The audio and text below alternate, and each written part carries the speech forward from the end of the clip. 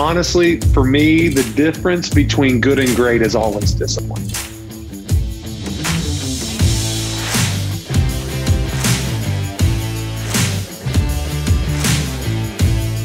So the question is this How do most agents find the secrets to succeed in today's competitive real estate market, especially when the top agents are keeping those secrets to themselves? That's the question, and this podcast will give you the answer. Hi, I'm Aaron Amuchastegui, and welcome to Real Estate Rockstars. Real Estate Rockstars, this is Aaron Amuchastegui, and I am back today to interview Jay Pitts. The, I'm really excited to get to hear more about Jay. Jay did a pre-interview with Curtis, and one of the most interesting things that we got to talk about was that his dad was previously interviewed on the podcast. So way back when, I don't know, like a long, long time ago when Pat first started, episode 129, we had Jeff Pitts, and it's so I think this will be the first time that we've had somebody on here who uh, who his dad was previously interviewed. So Jay, welcome to the show. Thanks for having me, man. I appreciate it. That should be a fun conversation. So tell everybody where where you live and what life is like out there right now in in the post COVID world and real estate. Anything? What's it What's it like out there? Yeah, no, I'm I'm a broker owner of Remax Premier Properties in Louisville, Kentucky. So, you know, Midwestern, Southern, I don't know what you call us. I mean, we're we're kind of gateway to the South, if you will. Um, robust market. We're in the Louisville, the largest city in Kentucky uh, by far. Um, so Louisville is a market that you know is a little bit rural, a little bit suburban, a little bit urban. We kind of get you know a lot of diversity there, uh, but extremely short on inventory. Busy, busy, busy you know it's um it's been a, it's been a great year. Covid covid slowed us down as it did everyone. Um but the market came roaring back. Just you know rates and being short of inventory already with strong demand. Um I, I just i think for those of us in the market that are really looking for growth it was a supercharger. I mean we you know um, obviously want everybody to be safe, safe and healthy. But if you're if you're willing to get out and work, there's plenty of work. Yeah. Does everyone say Louisville wrong that isn't from there? Yeah. So um, there's actually a shirt like the city tourism department sells a shirt with all the different pronunciations listed yeah. one over time. So it, it's actually Louisville. So like well, I said L-U- it wrong, even trying to say it right. So it's L U H L Vol. V U H L. Lowville. But it's spelled with like, it's not spelled like that, right? It's like, so everyone says Louisville on accident, right? Some people say Louisville. Some people say Louisville because it's after King Louis. Yeah. Um, but yeah, yeah, it's, it's Louisville. That's, that's funny. As you were, um, you know, Jordan, who we had previously interviewed on the podcast when he talked about investing out there, he had said it a bunch of times. And so I, and that actually, if I hadn't had been talking to him, I probably would have been way off on pronunciations. And as you said that, it reminded me like, oh yeah, I bet, I bet people really get this wrong all the time. It's it's a thing. It's very yeah. very much a thing. Definitely a thing. So, how big is your how big? So, right now we're going to get into how you got into real estate and kind of how you started in those first few years. But before we get there, how big is your business now with you know agents and volume and stuff like that? Well, it's you know it's grown substantially. You know that's that's another COVID change that we've seen. We've seen an influx, a large influx of people moving from larger cities, and that that has manifested with clients, but also agents. And then we've had certain industries, service sector uh, specifically, hospitality, um, specifically, that have been really hurt by COVID. Yeah. And those are people that traditionally have skills that apply very well to real estate. So you've seen a lot of people that have had that maybe back burner kind of thought like oh you know maybe one day i'll try real estate that have gotten a jump start that have gotten a push. And so our team has grown substantially. We're at 32 agents now on the team. Uh, my brokerage is about 80 agents. So i'm the principal broker but also a team lead. Um, so team makes up just less than 50% of the brokerage. The brokerage has doubled every year for three years in, in agent count. Um, you know 250 million in sales last year looking for more like 300 this year. Um, you know it's business is good. Business is good. What what's the average sales price of a house out there?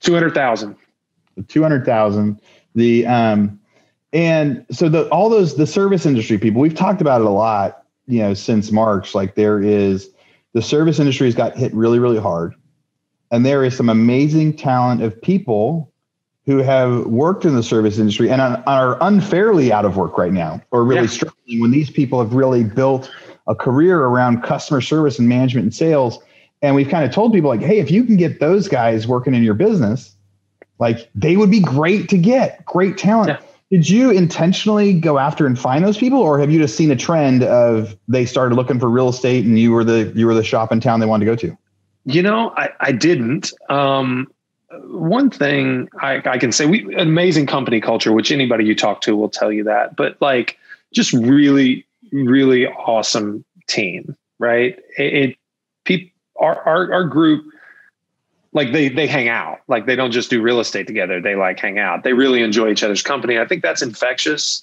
and so when it, it's all been by referral frankly, and most of it inbound. And I mean, we do some things. We do a podcast, we do other media, we do a lot of advertising, obviously, for our listings. We we are very progressive in our use of video and things like that to to sell the culture piece to the whoever's paying attention. Um, and I think what that did was that positioned us well to be the recipient of inbound um, really solid talent just reaching out to us. I mean, I, have I've got two, I can recall two two actors from New York City that decided to move back to Kentucky that just said, you know, the pandemic, we we were probably on the way out anyway. This whole thing, it's time to go home. They move back. They're phenomenal agents already, inside a year in the business, and just absolutely killing it. You know, people like that. Um, had had another real estate agent from Brooklyn that moved back home um, has been a real estate agent in Brooklyn for three years, just absolutely destroying business here. Um, we, we've always we've always taught that there is no bad way to generate a lead. My coach, uh, Mr. Tom Ferry, is a mentor of mine. He he says there's no bad way to generate a lead.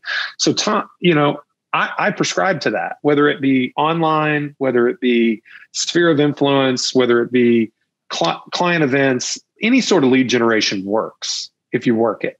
And so um, these people that have been service sector, you know, driven in, in their other careers, they understand that.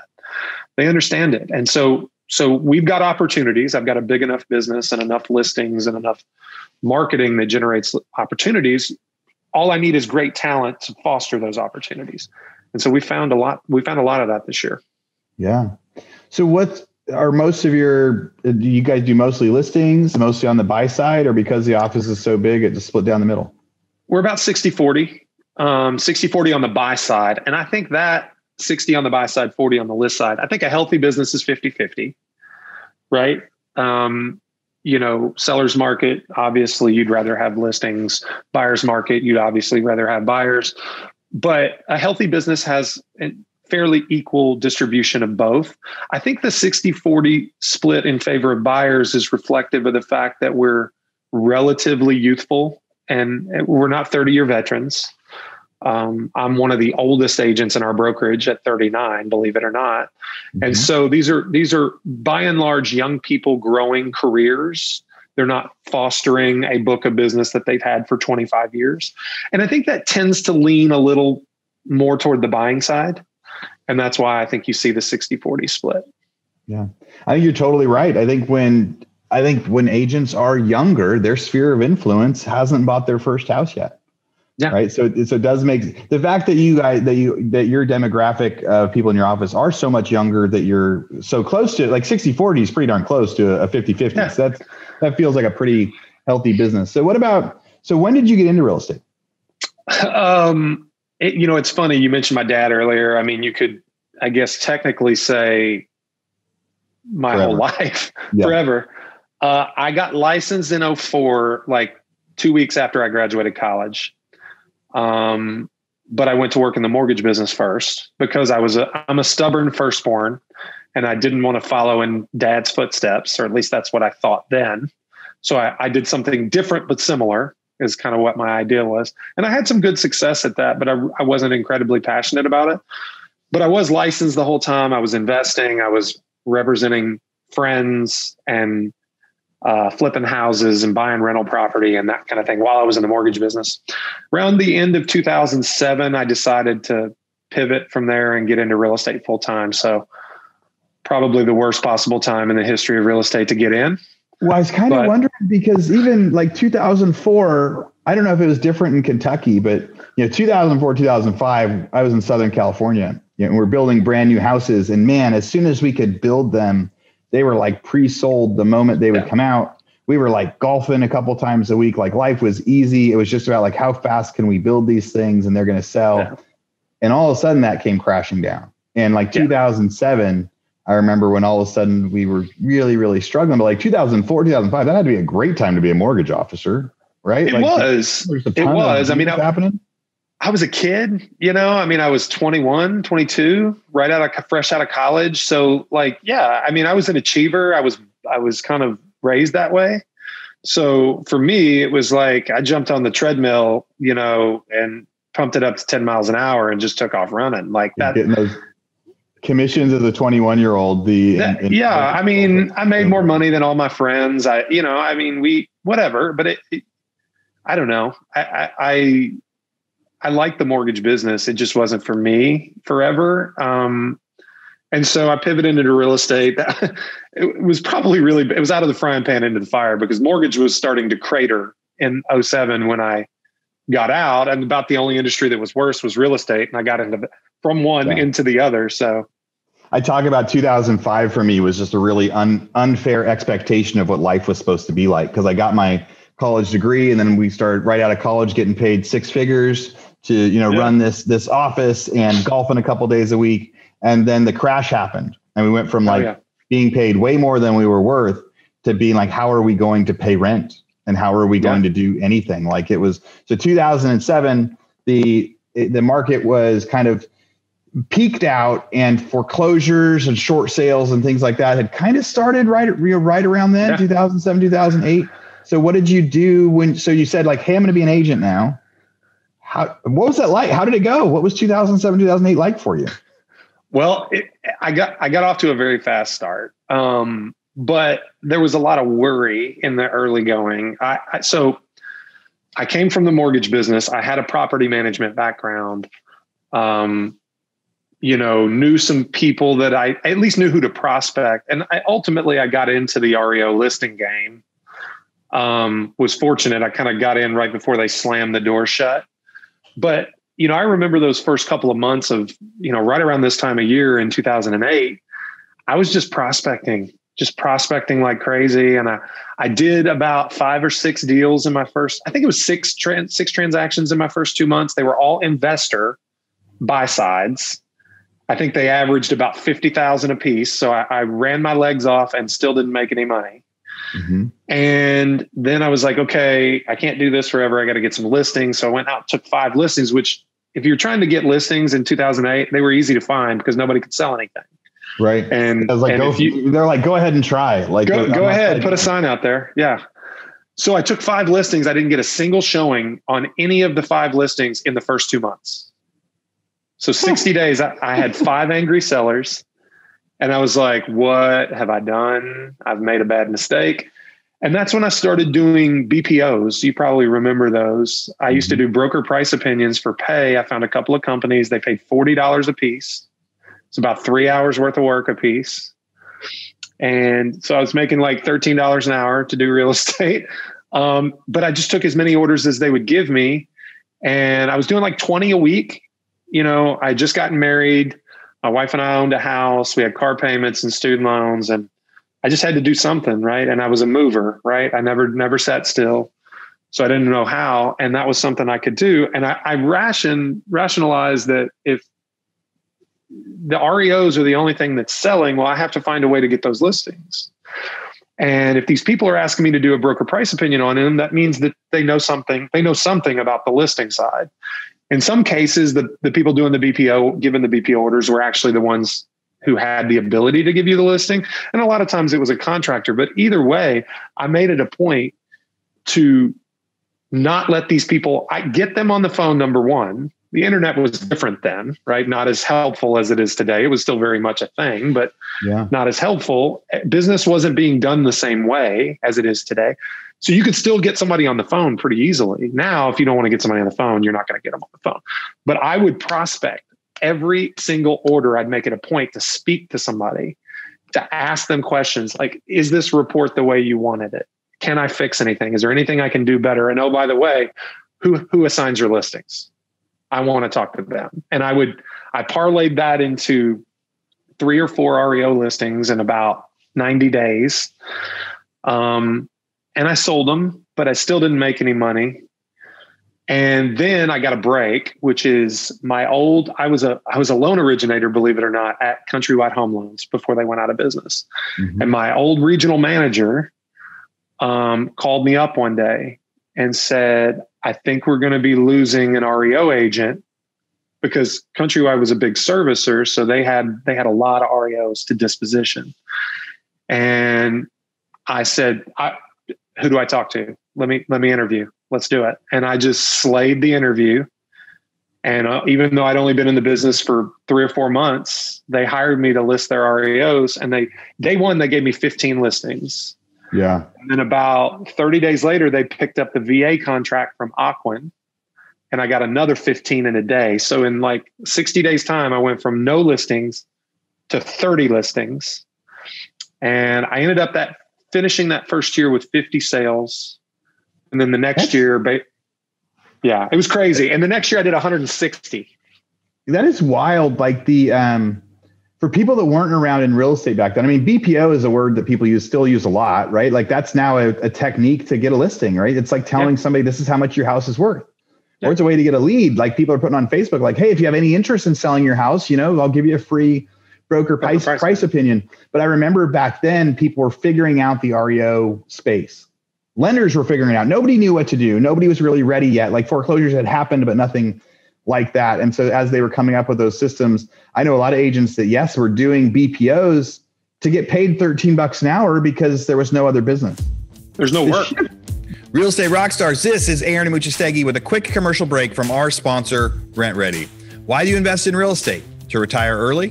To build your dream home? Start your own business? Whatever the reason, whatever the dream, Rent Ready can help you reach it. With Rent Ready's unlimited property management features, your real estate dreams are also unlimited. Rent Ready is landlord tenant software that covers all of your real estate investing needs, including unlimited properties, tenants, and live customer support so you can start small and grow your business without increasing costs. You know, I've had plenty of subscriptions before where you get charged like per house that you own or per deal you've done. And what they're saying is, hey, it's going to cost the same thing no matter what. Whether you have one house, 10 houses, or 100 houses, they're not going to penalize you when you grow and they're going to help you grow.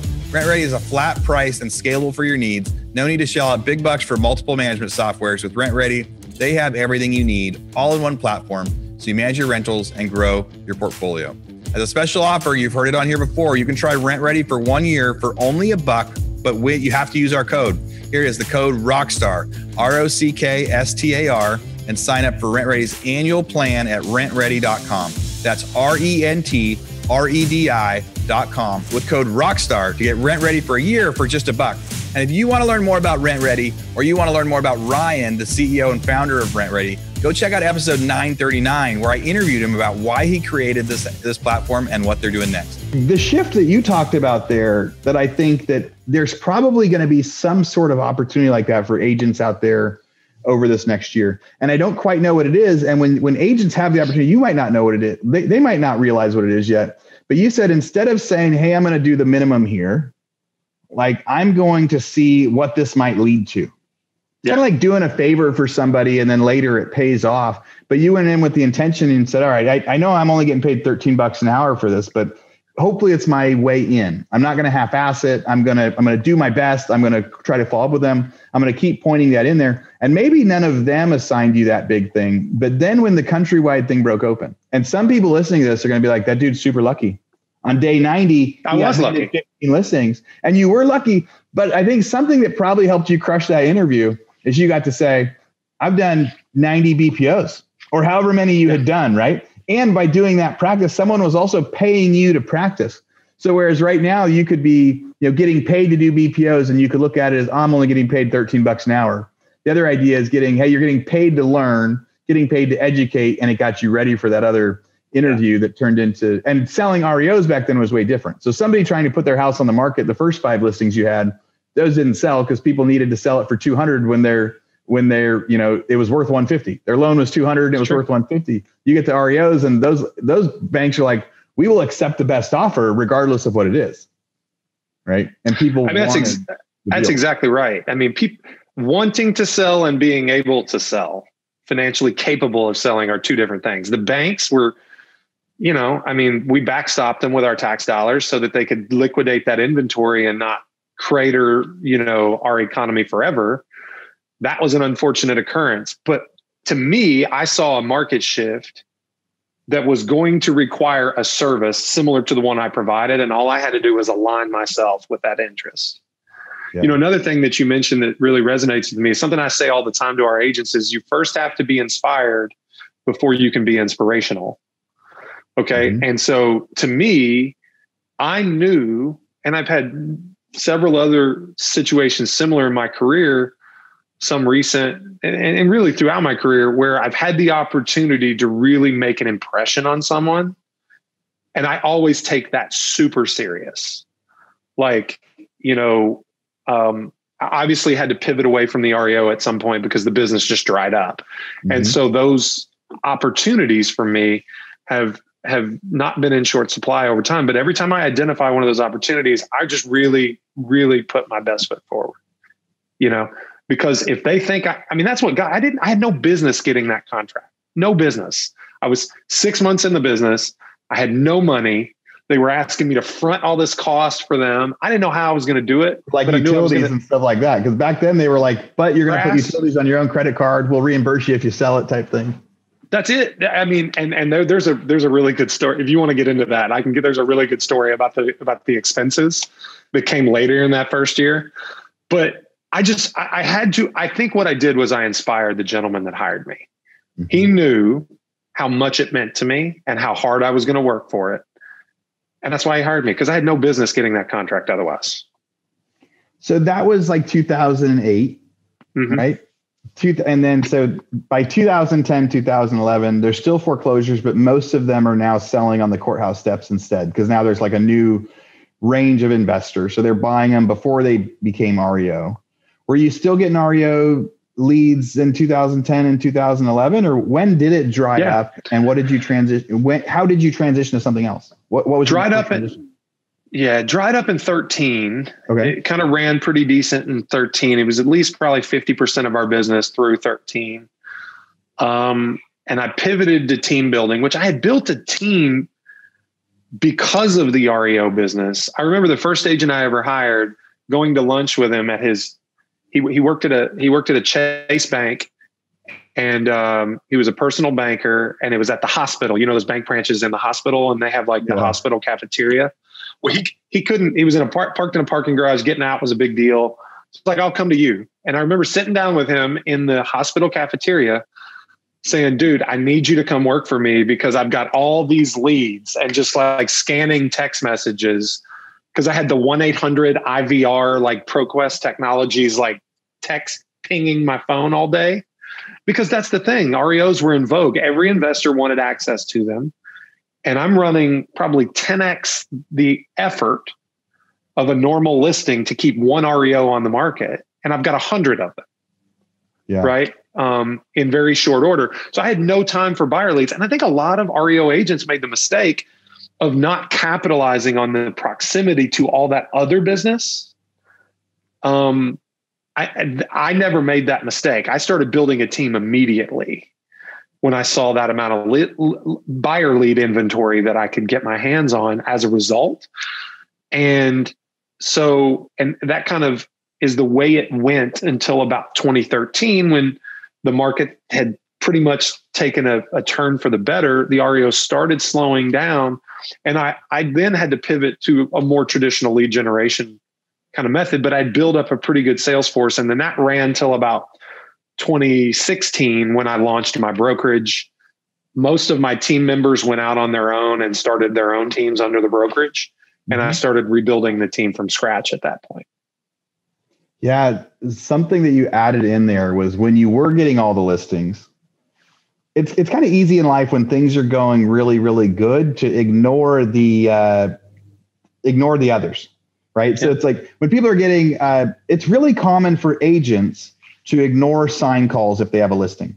Because they're like you know the sign call the chances of this person actually buying a house this weekend or actually buying this one or if somebody wants to come see my open house without an agent like man do i really want to start over? And especially when people get big into listings like agents that focus on listings there's a lot of leads that are given away because they don't want to deal with the sign calls. They don't want to do the that. So be when when times are going good and like times are going good for you and you could have ignored those other leads and said i just simply don't need them right i'm doing so well with these reo listings i don't need more people being able to capitalize on that i think that the I think that in real estate, it's really easy to go, hey, things are going really, really good. So I don't need to do that right now. I don't need to diversify into investing. I don't need to diversify into other teams. I don't need to try new lead sources. But being able to take when you're getting those wins, but then also say, but how can I diversify? How can I expand? That that has to be a big part of how your why your company is so big now. Right. You you took you took everything and you got to leverage it to, to go to the next level. Yeah. I mean, there I, there were definitely mistakes made. You mm-hmm. know, I mean, like if we could all, I mean, look, I bought a bunch of, well, I bought a bunch of houses. I should have invested more. Um, but I mean, you got to give yourself a little bit of grace because how does anyone ever know that they're in a once in a lifetime situation yeah. when they're when it's the first time this thing has ever happened? Like I didn't know how fortunate I was. Now I I, I like to say it was right time, right place, right time, right skills because I could have easily blown it. it. it. Like there were agents lined up to take my position. I earned it, I kept it, right? And I benefited from it. There are things I would do differently. I probably would have leveraged out more of the list side to my team if I had to do it over again. And I definitely would have. That's easy to say. Like, I've got houses I paid 30 grand for that are worth 150 now. Mm-hmm. And I'm never going to see 5X 10 year growth again in my life i don't think in terms of real estate purchases. I mean I, what i should have done is spent every dollar i had buying real, rental real estate because those were once in a lifetime lows.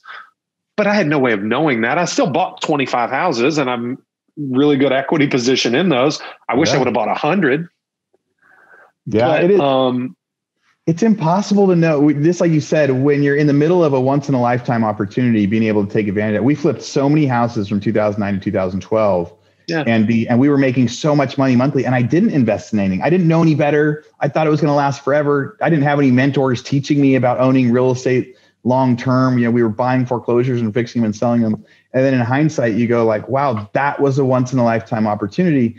And the and, i think we ha- i think we're in one now right? So yeah. like obviously the world changed a lot in the last year. Figuring out for people listening, like figuring out what your opportunity is or what it is. But this is a this last year has obviously been a monumental shift in the world.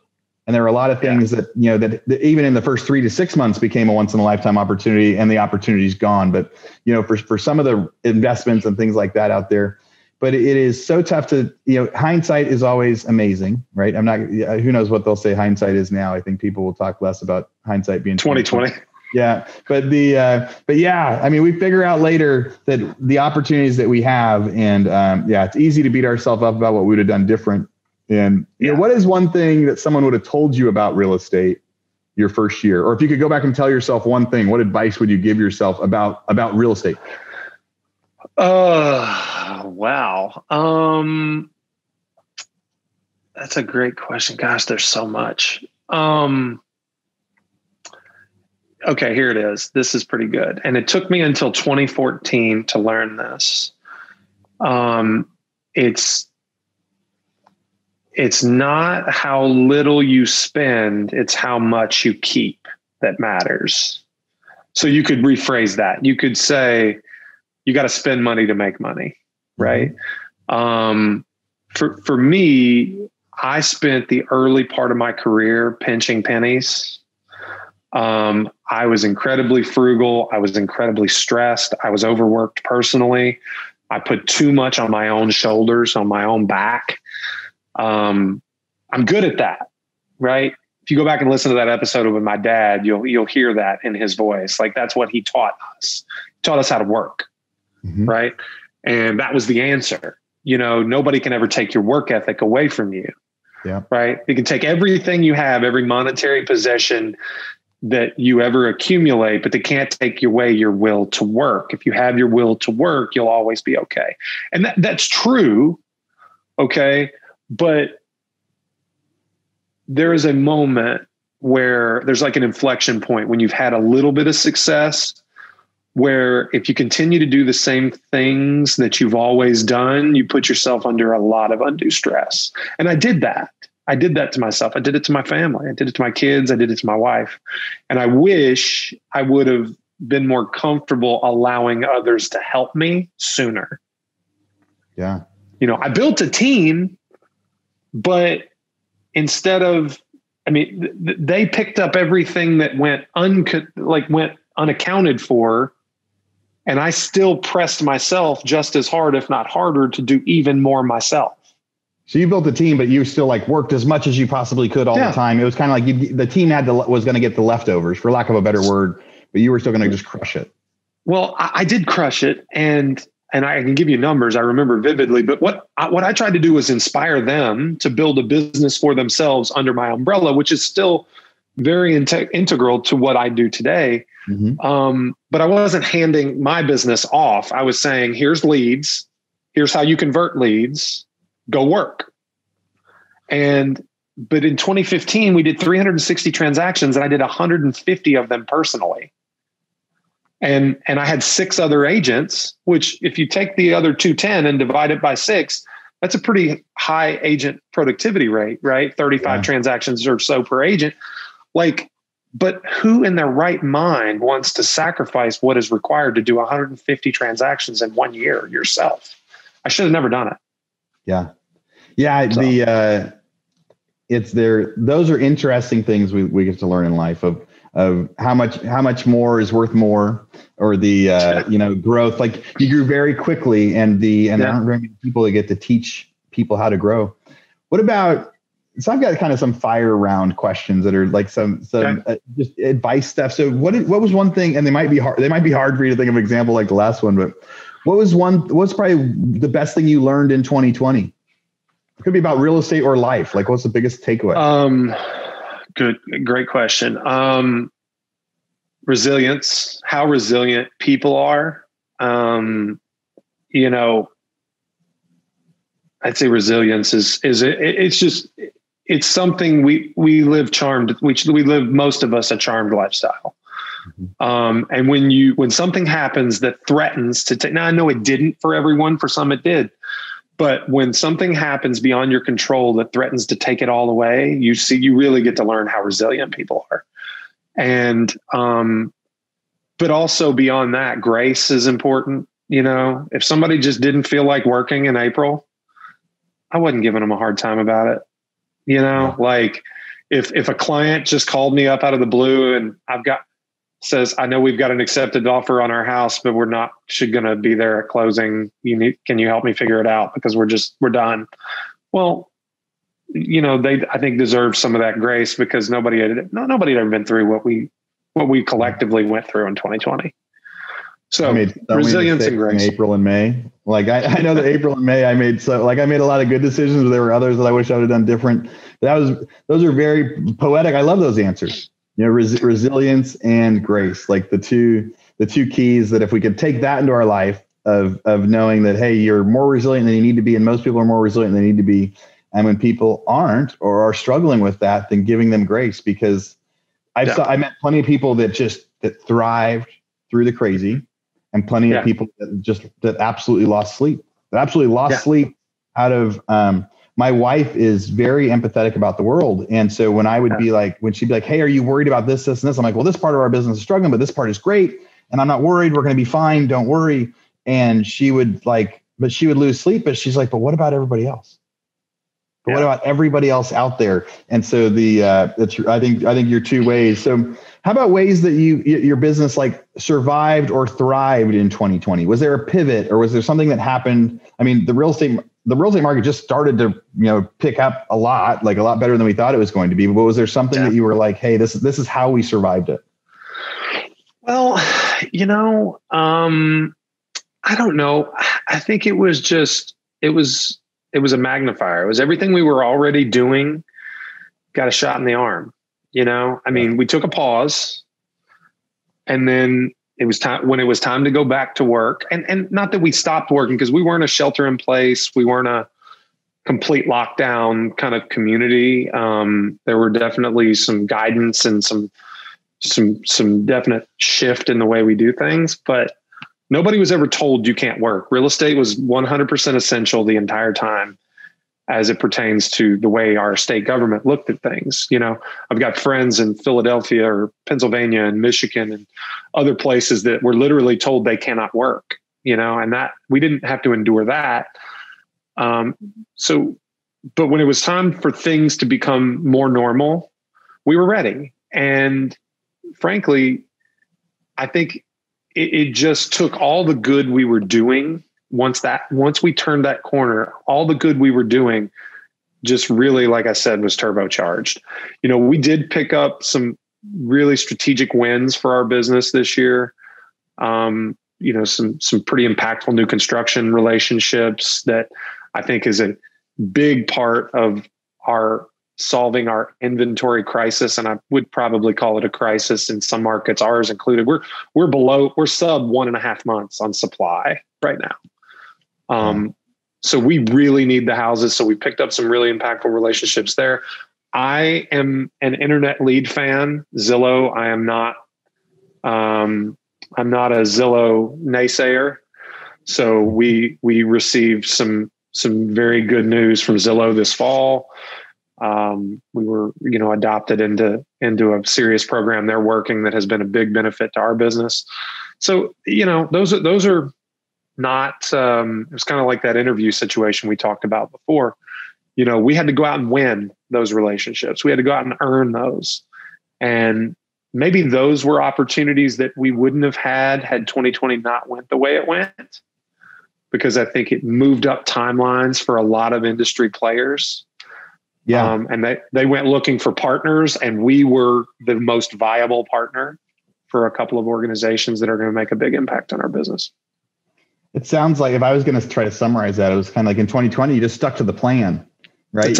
You, you, stuck to the, you, you, were already doing all these things, but it just amplified it. So you just, you said, Hey, like the world is going crazy, but like the, this, a lot of the things in real estate are the way they are. So let's stick to the plan and show up and still work really hard. And then, uh, and then you got to see the benefits of that. So what do you think for 2021? If you were going to like you coach your agents, you give them advice, you have your own podcast. If you're going to say this is how you're going to succeed in 2021, is it stick to the plan or is it what any extra advice you give them for 2021? Yeah. Um, so we had our team retreat a couple weeks ago.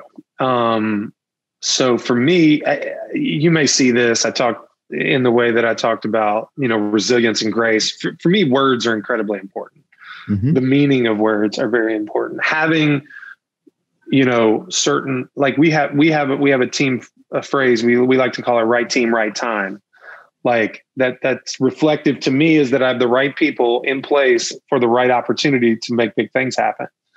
Um, what i told the team though was the two buzzwords for our retreat this year for 2021 were context um, and discipline.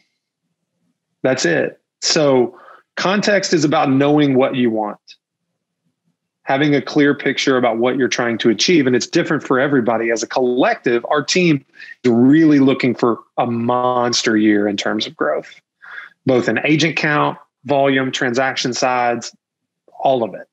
We were looking for that in 2020. We got it in an unexpected way so what I basically did was flip it back to where I was in in December, January 19 to 20, that rollover from 19 to 20, and said, okay, this year should be a little more predictable. Mm-hmm. And if it's a little more predictable than 2020, where is our ceiling? Okay, what do we want? Okay, and honestly, for me, the difference between good and great is always discipline. That's how you get from good to great is discipline. We all know the things we should do that we're not.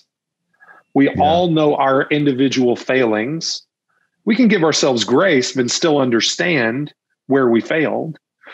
And all I'm asking for from my team is just an ounce more of discipline. Just an ounce more. That's it. Just move the needle some. That's it. The, the difference between good and great is discipline. That is uh, that's an incredible quote. The I, I really really like that. So you guys you have a ton of buyers agents, ton of listing agents. The and but right now you said 60 40 buyers. What's should mm-hmm. the and it's a, a seller's market. So people are replying back and saying we have 56 offers. Like literally, like a crazy amount of offers on stuff. What's your number one trick or way to get your offer accepted if you're a buyer's agent competing with other buyers? No doubt. Um, okay, so this is this is something I've placed, and this is this comes from my dad too. A lot comes from my dad. Okay, we we did a podcast episode. I you I don't want to curse on your show, but um, there's the stuff my dad says. Like, yeah. did you read that book? And there was a website that you know it's not stuff, yeah. but you, you know what I mean. I so we it, yeah. did we did an episode of my podcast where my co-host at the time and I just went through quotes, real estate quotes that I learned from my father. Right. And um he, you know, he says a lot, but I I I've learned an incredible, incredible amount from him. Um what he taught me was to value agent relationships. He taught me to to to speak to those agents the way I spoke to those REO asset managers back in the day, right? The the inspired versus inspirational kind of idea. What how you get your offer accepted is to break through and build rapport with the listing agent. Period. End of story. There is no post closing possession or I mean look price is king. We know that, right? But if you're a financed buyer and it won't appraise for the amount that you have to write your offer for to get it accepted, well, nobody gets anywhere then. So what ends up happening is building the rapport with the listing agent, finding out what ancillary items aside from price are impactful to the seller on this particular listing and doing that, getting your client, helping them understand why it's necessary to make concessions in certain places to make your offer more attractive. And it's different from every seller, you know, that you run into. So the agent's the only one that's got the key to that. You've got to get it from them. And it's it's increasingly more difficult because agents are processing 25 offers. Yeah. So how do they have time to talk to 25 agents? They don't. So you got to be creative. You got to have a good rapport built with them already. Um, that there's there's a way to break through, but the agents that know how to break through, they're the ones that have success in multiple offers. I love that breakthrough with the listing agent. The and then because because you need to figure out exactly what the you want you need to figure out what the seller wants, but you can't figure that out unless you get to talk to the listing agent. And the exactly. listing agent is not going to talk to you and 25 other people unless you figure out a way to break through. So listen, if you're a buyer's agent out there, figuring out how to break through with those. We had a, you know, we're buying, trying to buy some investments. House gets listed a week ago. We write a full price cash offer, 10 day close, three hours after the listing comes out. And about two hours later, they say, sorry, your offer wasn't accepted. And we're just like, but why? Just tell us why or counter back or something. It was the most bizarre thing to go like full price cash 10 day close and just and just say like sorry. But the reality yeah. is is because they had so many and somebody else probably had that relationship and figured out yeah. you know so cash 10 day close wasn't it or there was somebody else that had the cash 10 day close that the that the agent had a relationship with and they said yeah. like, yeah, these other guys sent an offer and it's the same as this one, but I know these other guys and they'll close it. So like, who do you, you know, so it, it's yeah. a really interesting uh, strategy piece out there. That's been, there's been a lot of, I ask everybody that right now. So we're putting together some series uh, about some of those questions and, and it's been the most common is to find out what the seller wants, but you're the first one to say really break through to that, make, get the relationship with the listing agent, figure out how to make that happen. Like that's goal number one. And sometimes it's done before you ever like sometimes the only way to do this is to start well in advance of the moment where you ha- you're presenting that offer because yeah. circumstances don't always dictate that opportunity. But like for me, um, I try to leave every interaction I ever have with an agent in a positive way. I want when they see my name on the top of an offer, which I'm not personally writing a whole bunch anymore. Now I want them when they see my team at the top of the, that offer, I want them to think, okay, this is legit because it's got Jay Pitts' name on it. It's legit. And when when when the number comes up on their phone, they want to take that call because they want to talk to me or my agent about why it's legit. Yeah. So that's that's you got to be nice to people all the time, right? The Dude, you, you have to. If you're if you're if you're a jerk to somebody now, you never know when they're going to be holding the key to your future yeah. success. The uh, I've read so many books that that is uh, becomes so part, and we've all had our own stories with it. But yeah, yeah this is the time when you never know when you're going to need somebody's help or on the other side, and and you were a jerk to them or they were a jerk to you before, and it changes.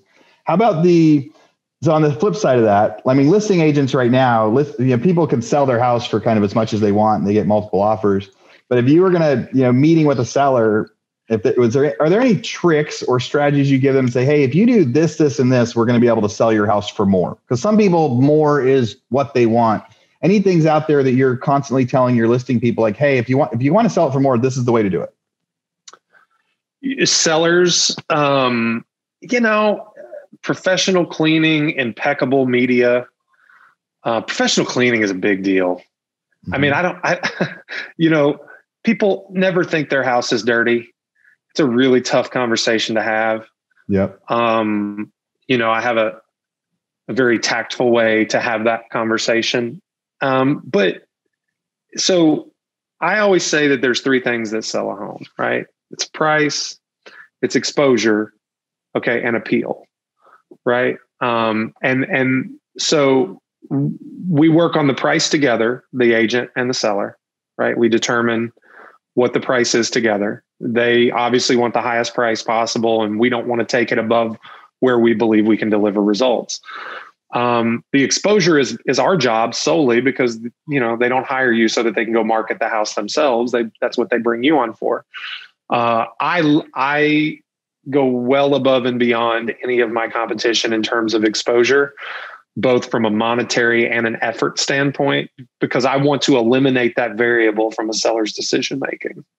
I don't want them ever to think that I'm the problem because they hire me as a marketer first and a negotiator second. But that leaves appeal, which is solely in the seller's hands. I can't, I don't live in the house. I can't keep it clean for them. I can't make it smell good. I can only advise them when it doesn't smell good or it doesn't look good. And mm-hmm. so what happens is if I do my job when it comes to exposure and I deliver the showing traffic, but the showing traffic doesn't yield an offer, there's one of two things wrong. Either the ho- house didn't measure up to ex- expectations or the price is wrong. Those are two variables that are neither one my within my control. So I always tell sellers, you know, staging's important, like, you know, appeal is important, but that's that's your call. Like I'm going to tell you what I think, but if you don't listen to me, that's on you. Yeah. Um, and if you you'll you'll be surprised at when you everybody thinks that they have to tap dance in a listing appointment. If you go in resolute, confident, and you make them assume some responsibility for success, they'll hire you more often than the, the person that comes in and tells them everything they want to hear. Yeah. The uh, I think that is that is really, really good advice. You know, I could talk to you for a while about a lot of stuff. You have you have a lot of, of different things with that, but it is that that's one thing. Like cleaning is so much bang for the buck, right at the very yeah. end. It's like what what gets them to the house? Price and pictures. What gets yep. the deal? You know, quality.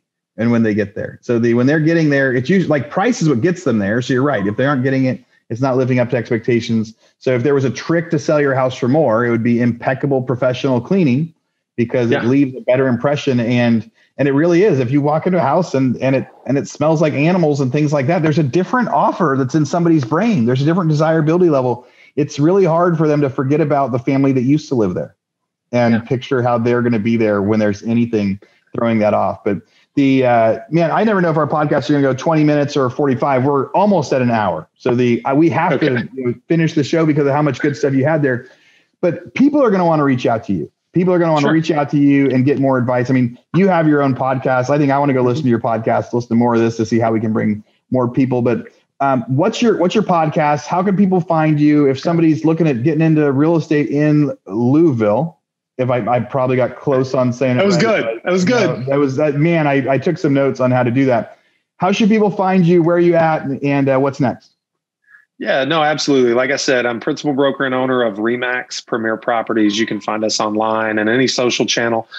Um, my personal handles are at jpitts realtor, at jpitts realtor, J A Y P I T T S.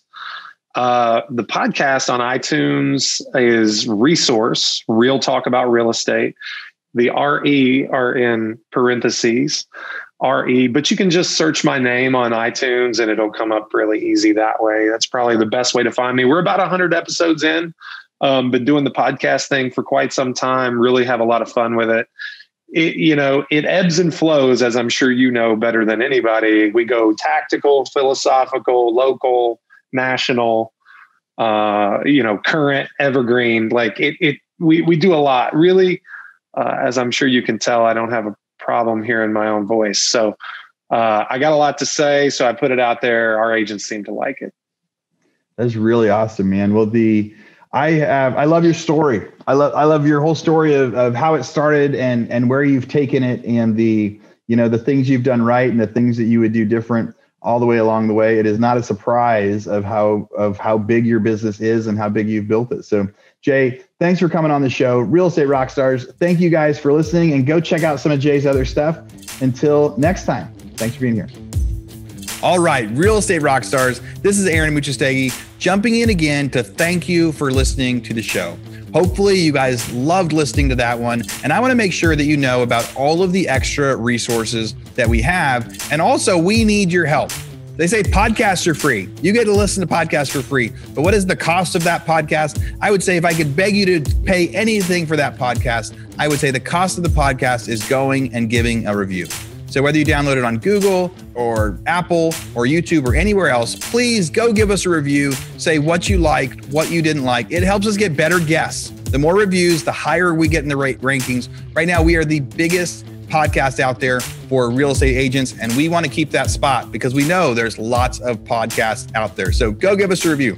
Also, be sure to go to hibandigital.com. If you liked any of the resources that those real estate agents talked about, we've got a huge video vault of those resources for free. Every penny that comes on the podcast that we interview, they give us something that helps them get their deals or helps them work with their clients. And we put that in the toolbox in our vault for you. So go to hibandigital.com and you can get it. If you're looking for real estate education, go to rebusuniversity.com. We have all sorts of courses in there to help agents succeed in real estate. How to get the listing, how to negotiate deals, you know, how to become an investor, all sorts of different stuff. rebusuniversity.com. And if you want to chat with me, go find me on Instagram. And if you come find me on Instagram, you can send me messages. Tell me what you want to hear. Tell me what you liked, what you didn't like. We try to put a bunch of content out there too. You can find me in two different places. It's at rerockstars.com for our real estate rockstars page or at aaronamuchastegui.com for my personal Instagram page where I can chat with you about all sorts of different things. Thanks for listening. We'll see you again soon.